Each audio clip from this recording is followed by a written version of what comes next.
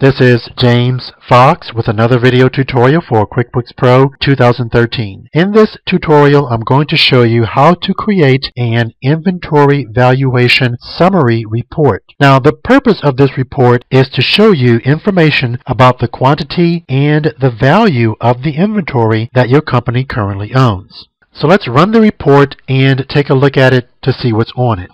So to run the report, click on the Reports menu Go down to Inventory, then select Inventory Valuation Summary.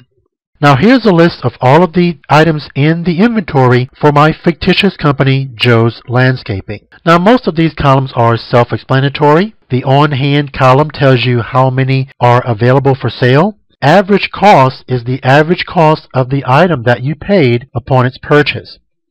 The asset value is simply the on-hand amount times the average cost. And everything else is pretty much self-explanatory. If you need to customize this report a little bit more, click Customize Report. If you want to view the inventory as of a certain date, you can change the date in the Dates drop-down menu, or you can select a particular date in the From and To Date fields. If you want to filter some information, click the Filters tab. And let's say, for example, you only wanted to show a particular item in this report. Scroll down to the Item field and then select the item that you want to be shown in the report from the item menu. For example, if I only wanted to see pink roses, I'm going to select pink roses and then click OK. And now pink roses is the only item on the list.